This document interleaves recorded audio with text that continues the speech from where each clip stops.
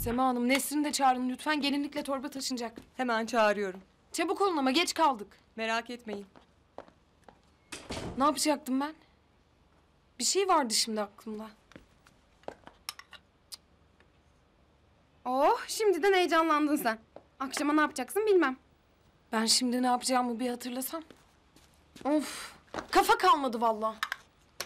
Akşam babanla konuşabildiniz mi? Canım benim ya. Uyumamış beklemiş.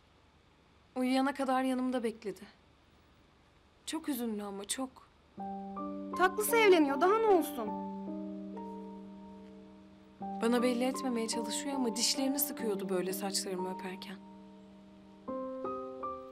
Canım benim. Esas biz Amerika'dayken ne olacak? Hiç bu kadar uzun ayrı kalmamıştım babamla.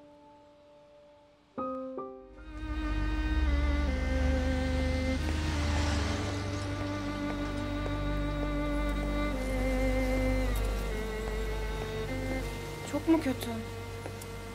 Onu öyle görmeye dayanamıyorum. Yapma ne olur. Hadi bir an önce uzaklaşalım buradan yoksa gidemeyeceğim.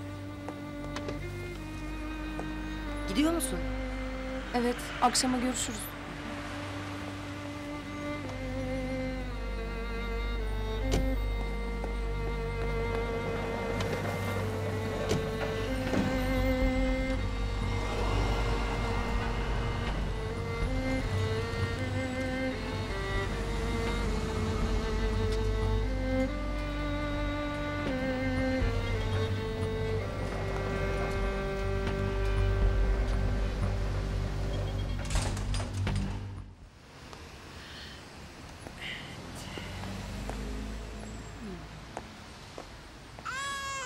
Hoşça kal anne.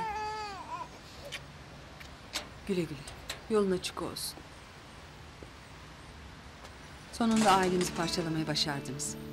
Çok mutlusun herhalde. Kendi ailemizi bir arada tutabilmek için bu kararı verdik. Kaçış bir çözüm değil. Nereye gidersen git, o adamın oğlusun yine. Anne lütfen. Şimdi yapma bari. Kırgın ayrılmak istemiyorum ne olur. Tamam tamam. Hadi git artık. Çok mutlu ol. Canım. Canlarım çok özleyeceğim sizleri. Hoşça Hadi kalın. git.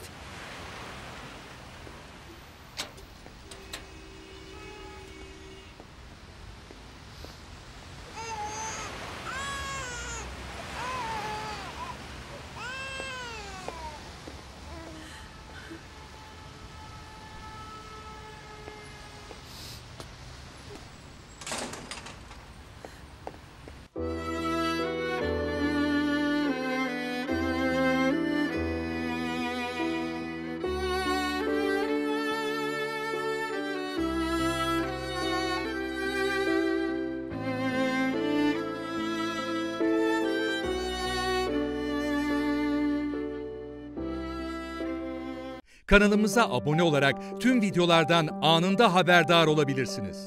Müzik